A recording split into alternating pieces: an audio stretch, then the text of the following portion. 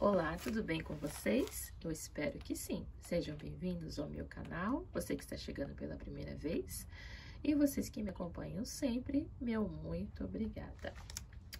E hoje, continuando né, a série das peludinhas, vou falar sobre a Calanchoe Tomentosa Teddy Bear. Gente, quando eu comprei ela, eu comprei com esse nome, né? Teddy Bear. Mas eu achei, eu tinha certeza que era chocolate Soldier, né? Eu falei assim, acho que aqui no Japão vende com esse nome de Teddy Bear, porque até então eu nunca tinha ouvido falar nesse nome, né? E quando eu fui pesquisar para fazer o vídeo para vocês, né? E também vendo fotos, eu vi que realmente existe essa classificação, Teddy Bear e o chocolate Soldier e elas são diferentes, né? E teddy bear é, significa ursinho de pelúcia, né? E no final dessa série eu vou colocá-las todas juntas para vocês verem a diferença de uma com a outra, né?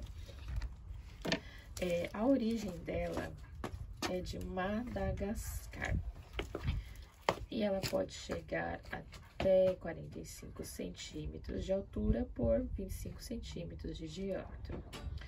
Eu coloquei num vasão grande aqui, ela tava num vaso pequeno, né? Mas é porque tinha aconteceu um acidente, depois eu vou falar pra vocês. Acabei colocando nesse vaso aqui, mas até ela encher esse vaso aqui, acho que vai demorar muito, né? Anos.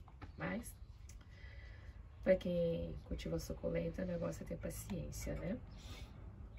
É, exposição solar, sol pleno. Sol pleno, desde que não seja no verão escaldante, né, gente? Melhor que esse sol pleno seja na primavera, né, outono. Resistência ao frio, ela não tem, né? Como eu disse nos outros vídeos, é, de 5 é, graus acima, né? Abaixo disso, dentro de casa. E como eu disse também no outro vídeo, você pode levá-la lá para fora apenas nos dias de sol, para tomar um ar e um pouquinho de sol, mas à noite você tem que recolhê-la, né? Isso no caso de temperaturas acima de 5 graus. É, o solo bem solto e drenado, como as outras suculentas, né? A rega bem pouca, né? Como as outras suculentas também. E a floração dela se dá em março. A minha nunca floriu. Ela é uma planta suculenta arbustiva com folhas curtas. Então, vocês viram que a última que eu fiz o vídeo foi da nigromarginatas, né? A curotoide. Então, vocês viram que a folha delas era bem comprida, da Giant Rabbit também, da White Rabbit também, né?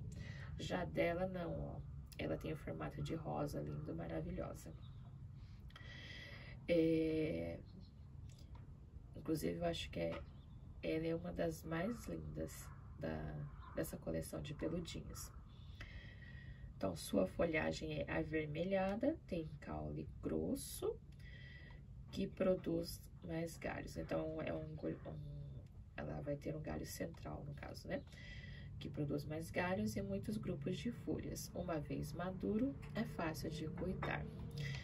Então, eu tinha uma roseta só, né? Que acho que faz uns dois anos, mais ou menos, que eu tenho ela. E eu preciso ver a data direitinho. Mas eu acho que é isso. E o que que aconteceu? Ela estava um pouquinho mais alta, né? Inclusive aqui tá, ó, o galho dela, né? É, não sei se esse galho aqui ainda vai sair alguma coisa, talvez saia. Meu gato quebrou-a. Sim. Aí eu replantei ela. Mas esse replante foi muito bom para ela. Porque da sua cabeça saíram duas cabeças. Então, ela ficou com duas rosetinhas, coisa mais linda, né? Então, ela abriu aqui, ó, né? Ela abriu e são essas duas cabeças. E as folhinhas que caíram, olha lá. Ah, o bebê todo peludinho. Oh, coisa linda, né, gente? É o encanto. Olha, gente, que coisa maravilhosa, né?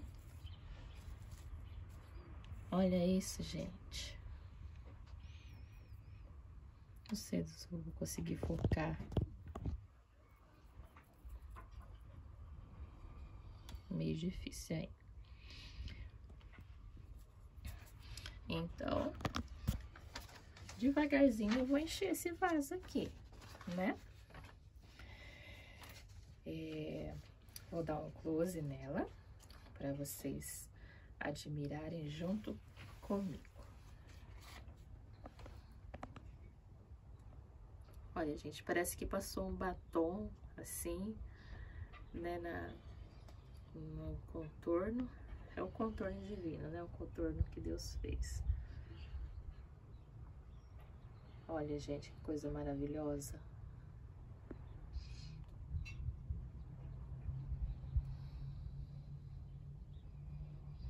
Amares que vem para bem, né? Tava comentando com a minha filha agora, ela falou assim, ah, então ele não fez uma coisa ruim, ele fez uma coisa boa. Eu falei, é, realmente, né? Resultou em uma coisa boa.